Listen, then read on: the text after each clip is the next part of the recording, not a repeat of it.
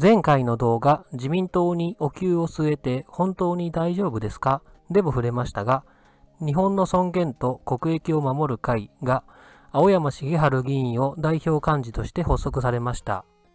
挑むとされる課題が、1、不敬による皇位継承の永続と安定のための最善の施策を講じること。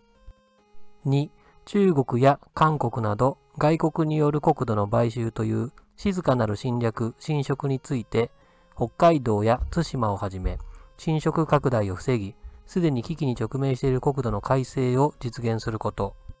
3、外国による不正なスパイ活動をサイバーアタックを含めて防ぐためのスパイ防止法を制定すること。必ずしも表に結びつくかはわからないが国益に資すると思われるものでした。また、青山議員の Facebook より記名可の参加者リストが公表されました。リスト上の参加者は38名。氏名非公開の方数名と入会手続き中の議員が1人で40名を超えるとのことです。最初は焼き鳥会議で腹を割って会話し、徐々に大所帯になっていったと聞いています。準備に3年かかったとのことで、個人的には非常に期待しています。現時点で自民党の議席405、の10%が参加しているのですから、自民党内の影響力は小さくはなさそうです。まだ発足したばかりの会で、現時点で実績があるわけではありません。ですが、将来の国益に資する可能性がある。自民党の中から変えうると考えます。今回は精一杯応援したいと思います。早速、今回の参議院議員選挙で議員数を減らして勢いにブレーキがかかるのは得策ではありません。そのため、守る会の出馬候補者をピックアップしましたのでご覧ください。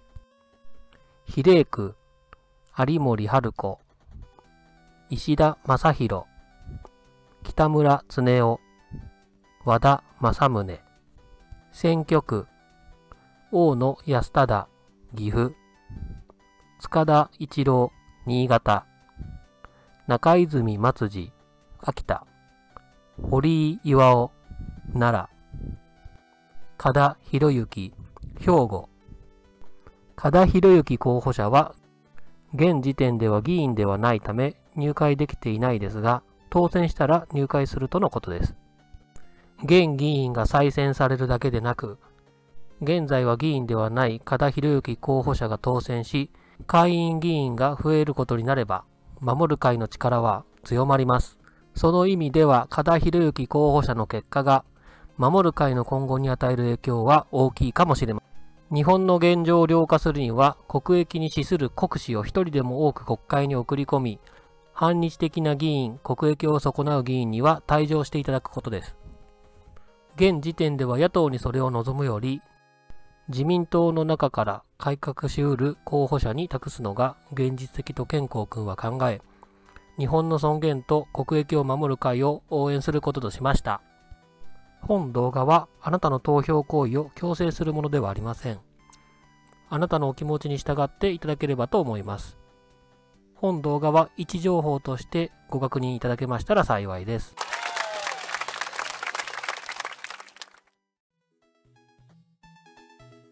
あ、守る会の人は健康くんの助けなんかなくても素晴らしい力を発揮すると思うけどね。